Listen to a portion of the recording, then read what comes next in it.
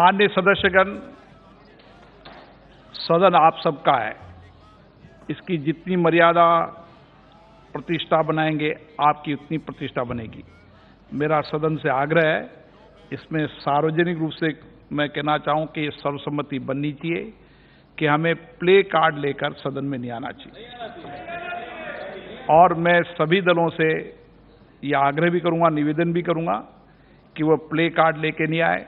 क्योंकि play card लेकर आप आसन के सामने लाएँगे तो सदन के अंदर जो भी आसन में बैठे हैं, उसकी मर्यादा बनाए रखने के लिए, सदन की मर्यादा बनाने के लिए हमें न चाहते हुए भी कार्रवाई करनी पड़ती है। हम किसी सदस्य को उसको जनता ने चुनकर भेजा है, हम किसी सदन, सदस्य को संसद की कार्रवाई में हिस्सा न ले, ये हम कभी नहीं चाहते, कोई भी नहीं चाहता। इसलिए मेरा आपसे आग्रह सभी दल के नेताओं से आग्रह कि प्ले कार्ड लेकर सदन में नहीं आए। ये मैं अंतिम बार उनको मौका दे रहा हूँ लेकिन प्ले कार्ड लेके आएँगे तो मुझे न सरकार की सुनूँगा न इधर की सुनूँगा मुझे कार्रवाई करनी पड़ेगी। हाँ हाँ रुको भी प्रस्ताव तो लाएगी सरकार। Sir as far as productivity is concern जिन्होंने अजय रंजन जी ने उठाया हम तो सरकार के तरफ़ से मैं ये बोलना चाहता हूँ प्रोडक्टिविटी बढ़ाने के लिए हम पूरा प्रयास कर रहे हैं और हम प्रतिबद्ध है उसके लिए। लेकिन अभी जो हो रहा है दो सप्ताह से प्राइस राइस के बारे में चर्चा मांगे थे। मैंने जब ऑल पार्टी मीटिंग आपके अध्यक्षता में हुआ, तब भी, जब हमने सरकार की तरफ़ से ऑल पार्टी मीटिंग बुलाया था, तब भी हमने बोला था, हम चर्चा के लिए तैयार है।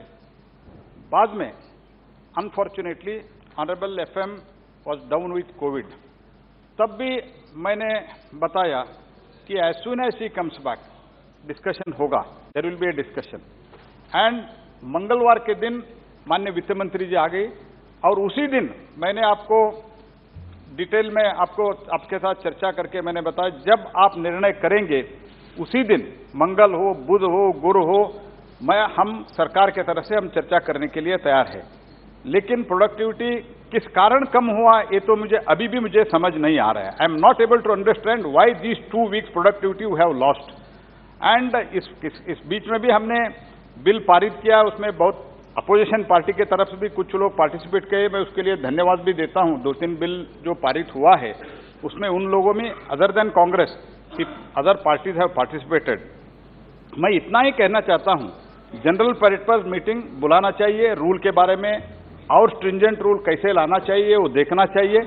लेकिन इस बीच में हमको ये भी सोचना होगा जब तक हम रूल चेंज नहीं करते हैं एग्जिस्टिंग रूल फॉलो करना है या नहीं करना, ये भी हमको निर्णय करना है। We have to decide whether to follow the existing rules और नॉट तो आपके सामने, आपके मुँह के सामने, जो तट्टिया लाके ये व्यवहार होता है, ये मंत्रियों के सामने और हम, मंत्रियों के सामने तो कर रहे हैं। आपके सामने भी कर रहे पीठ के सामने भी। ये ठीक है क्या? ये सोचना पड़ेगा।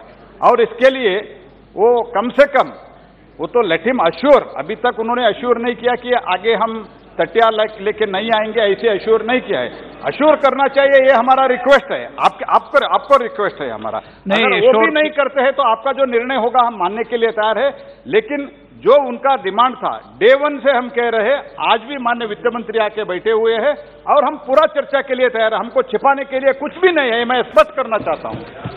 नहीं मैं सभी सदस्य इस बात के मत सहमत होंगे कि तख्तियाँ लेकर नहीं आएँगे। इससे बड़ा हाउस कोई नहीं है। अब मानिए। सब सहमत हैं। आप प्रस्ताव ला दें तो मैं लेके आता हूँ। आप बोल दें। बोल दें मुँह से बोल दें। एक मिनट। जर सर आपके आदेश के अनुसार आपके सूचना के अनुसार वो आपने आदेश दिया है और उन लोगों ने भी मान लिया है अपोजिशन वाले इसीलिए मैं माना है ऐसे स्पीकर साहब, आप मा